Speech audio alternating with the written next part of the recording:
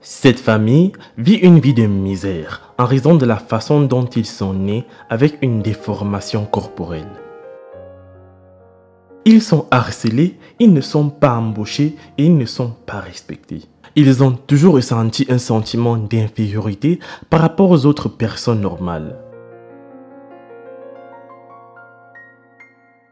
Du plus jeune qui a maintenant 6 ans au plus vieux, ils ont tous une déformation corporelle et voici leur histoire. Mais avant de poursuivre, je vous présente la question du jour. Quelle est la langue la plus parlée dans le monde entier? A. L'espagnol, B. Le français, C. L'anglais. J'attends vos propositions dans les commentaires et la réponse exacte vous sera donnée à la fin de la vidéo.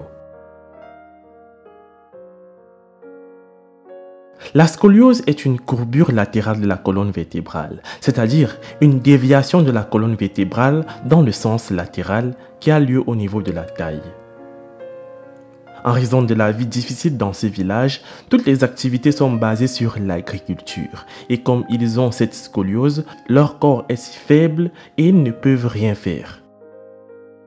Contrairement à d'autres membres de la famille, Charles n'est pas né avec cette condition physique. J'ai souffert de cette condition pendant que je grandissais. Je m'étais marié et c'est pourquoi mon histoire d'amour est assez différente de celle des autres.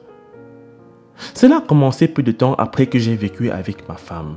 J'ai ressenti des choses méritées et me faire mal au dos. Par la suite, mon dos s'est déformé et est devenu comme ça. Charles dit qu'il ne peut pas expliquer ce qui lui est arrivé. Après son mariage, il a fait face à une tragédie dont il n'a aucun moyen d'expliquer. Sa femme et lui ont eu 12 enfants. 8 d'entre eux ont perdu la vie.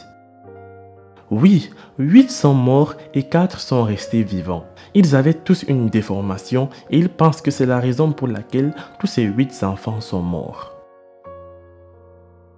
Il compare sa vie à celle de Job dans la Bible qui a également perdu 10 enfants dont 7 fils et 3 filles.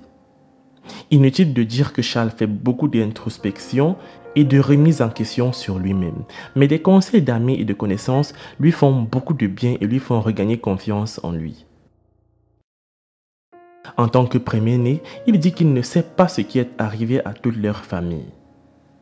Et dit qu'en raison de cette condition, il était parfois très malade et que les gens pensaient qu'il allait mourir. Il a été déclaré mort à trois reprises. Pour lui, c'est Dieu qui le maintient en vie. Il espère tellement que les choses s'arrangent et ne seront pas toujours aussi mauvaises. Bertite, sa sœur, nous en dit aussi sur son histoire. Je suis né et je me suis retrouvé comme ça. Selon ce que mes parents disent, c'est suite à la tuberculose que je suis devenu comme ça et ça a affecté mes os. Mes parents ont tout fait pour que je sois soigné. J'ai été amené dans différents hôpitaux, mais je n'ai pas pu être traité. Belchi dit qu'elle allait à l'école. C'était une bonne élève qui aspirait à devenir médecin. Son père a commis un crime qu'elle n'a pas voulu mentionner sur nos caméras et qui l'a condamné à la prison à vie. Son père était le pilier de la famille et dans ce village, la plupart des femmes ne travaillent pas. Tout ce qu'elles font, c'est rester à la maison et élever leurs enfants. Il y avait alors personne pour payer ses frais de scolarité et sa décision a été d'abandonner ses études. Avoir un tel handicap vous fait perdre espoir, surtout quand vous rencontrez quelques personnes qui disent qu'elles vous aiment, car c'est rare de voir une personne qui vous aime vraiment. J'avais un gars qui sortait avec moi, mais il ne se souciait jamais de moi. J'ai découvert plus tard qu'il ne voulait que du sexe et nous nous sommes séparés. J'ai actuellement un autre petit ami, mais encore, je ne l'aime pas trop comme le premier, en raison de tout ce que j'ai subi dans ma première relation et tous ses doutes. Après avoir quitté les bancs en cinquième, elle s'est demandé comment elle allait survivre et a choisi d'acquérir des compétences en couture. Aujourd'hui, elle peut concevoir tout type de tissu et de style d'habit par elle-même. Le problème, c'est qu'elle n'a pas assez d'argent pour s'acheter une machine à coudre, puis commencer à coudre en tant qu'entreprise individuelle. Elle est prête à tout faire pour qu'au moins ses enfants n'aient pas la même difficulté, car elle pense que si elle se marie, elle pourrait donner naissance à des enfants aussi handicapés qu'elle. Comme beaucoup d'entre nous, je suis né avec ce problème de santé. On m'a dit que quand je suis né, j'étais très petit et que je ne pesais qu'un kilogramme. Et en plus de cela, j'ai eu un autre problème. Et quand j'étais jeune, mon cou s'est tordu au point où je ne pouvais pas regarder au ciel. Je ne pouvais que regarder vers le bas. Et cette condition, en plus de la scoliose, m'a fait ne pas assister aux cours à l'école. Ma mère m'a amené dans de nombreux hôpitaux et ils ont essayé de me soigner. Cela a pris beaucoup de temps au point où j'ai passé une année entière à l'hôpital. Et maman dépensait trop d'argent et d'efforts. Il dit qu'il a rencontré une fille qui a vécu avec lui pendant quelques jours et plus tard, ses parents l'ont empêché de vivre avec lui. C'était juste quelques jours avant qu'il puisse se marier et vivre légalement en tant qu'épouse et mari. Mais les parents ont empêché la fille de vivre avec cet homme juste à cause de son état physique. Et maintenant, il s'inquiète et se demande comment diable il trouvera une partenaire pour la vie puisque la plupart des gens le rejettent à cause de cette déformation corporelle.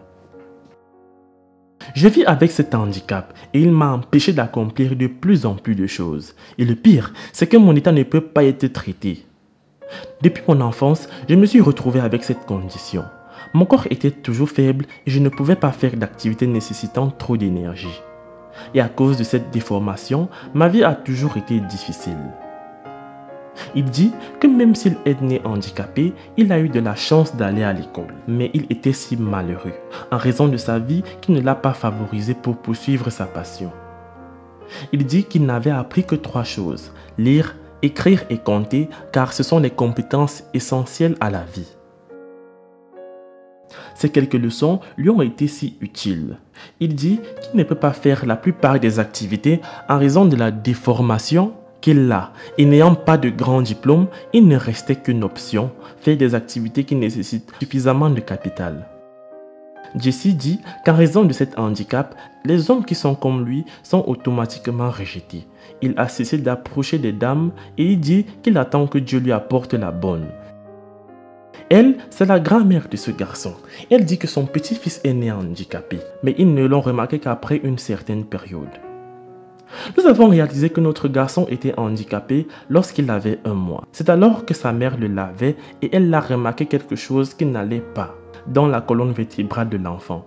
Nous avons amené le bébé à l'hôpital, mais les résultats ont montré qu'il était négatif. Comme les médecins ne pouvaient pas dire de quoi le garçon souffrait, ils n'avaient pas d'autre choix que de le ramener à la maison. Il s'inquiète seulement et se demande s'il pourra aller à l'école l'année prochaine. Il dit également que le garçon a peur de jouer avec d'autres enfants parce qu'il ne le laisse pas s'amuser avec eux. Il passe leur temps à le troller et à l'intimider. Les amis, c'est la fin de cette vidéo. La réponse à la question du jour était la langue la plus parlée dans le monde est l'anglais. Laisse un like si tu as trouvé. Moi, je vous laisse et surtout on se prend pour la prochaine fois.